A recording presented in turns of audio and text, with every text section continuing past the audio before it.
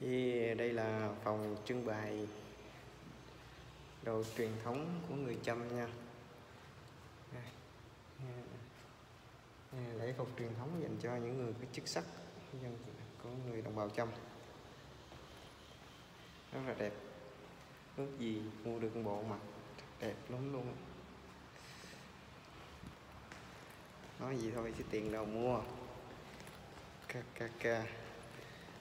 này đây là những hình ảnh giới thiệu về văn hóa, về lễ hội của người đồng bào Chăm.